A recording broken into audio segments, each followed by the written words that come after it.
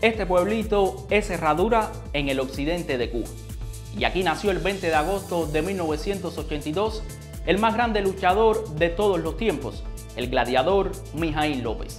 El mundo creyó que la despedida del cubano sería Tokio, pero tres años después, el gigante de Herradura volverá a subir al colchón y en París 2024 buscará ampliar su historia dentro de los Juegos Olímpicos. Con dos décadas de reinado en los 130 kilogramos del estilo clásico, esta será su sexta cita bajo los cinco aros después de debutar en Atenas 2004. A solo semanas de cumplir 42 años, Mijail buscará en París ser el primer deportista en ganar cinco medallas de oro en el mismo evento individual en líderes olímpicas. Y este no es un dato menor.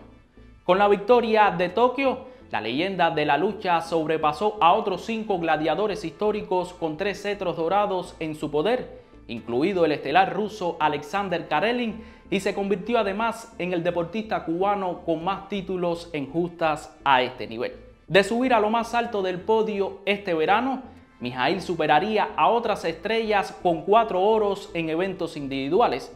Por tanto, podría ser el luchador de más edad en ganar una medalla olímpica.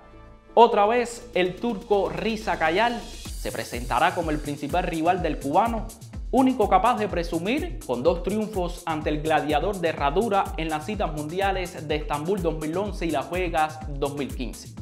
París marcará el cierre de la carrera del gigante cubano, quien a ritmo de tacles y desbalances intentará bailar en suelo francés y regalar a Cuba un hito olímpico.